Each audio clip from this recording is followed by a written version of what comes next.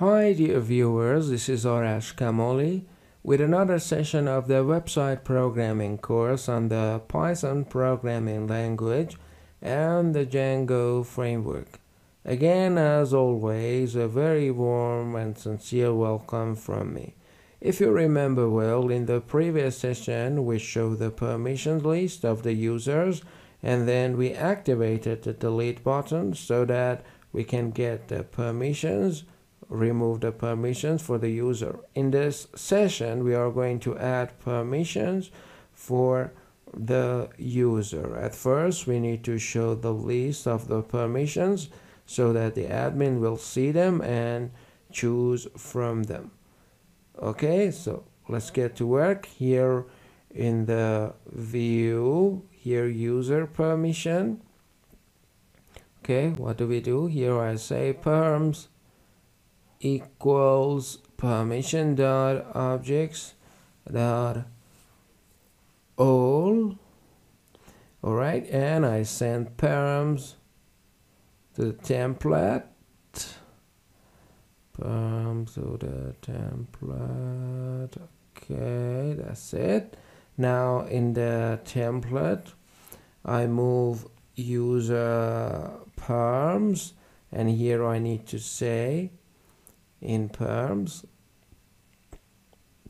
Okay I refresh the page and at first my permissions are set here. I make some more permissions such as test 2 okay and test 3 and then here in the user admin permissions and now I have permissions test 2 and test uh, 3 okay uh, which I can designate to the user. In order to do that I need to make the associated function with it. So how do I make that function? Let's see I copy this. And then say user perms and instead of del I say add and then I no longer need the name. I receive the PK okay I just need a PK and so I make the URL and it would be reward. It would be user perms add with the name user perms add.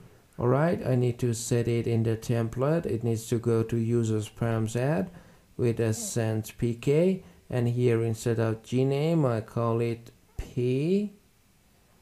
Okay permission Alright, uh, here the first thing I need to do is I write if request dot method equals post. I move this one a step forward. If our method equals post, pname equals request dot post dot get pname alright is received. And now uh, here we need to receive the user again. We receive the user based on the pk that we get and then we set it in the user and then we need to deal with the permissions. For the permission we need to say dot object dot get where the name equals. Here we need to say pname uh, the pname we received here. And then we need to say user dot user permission dot. And uh, instead of remove we say add. Okay and then it would be redirected to the function for showing it and let's test and see if it works all right. Now I choose test yeah it has been added to the user and I choose test2 now if I check the demo two permissions have been added to it test1 and test2 now I add the test again. As you see there is no error you have seen the same thing before. When we added repetitive names for the groups or permissions we would have no error. And I can add and uh, consequently remove permissions to the users. That's for adding permissions to the users. That is done now. Now we can give permissions to the user or remove them for him. Now we are going to add a permission to the group that is the group that we have made here. We say the test group of ours will receive certain permissions.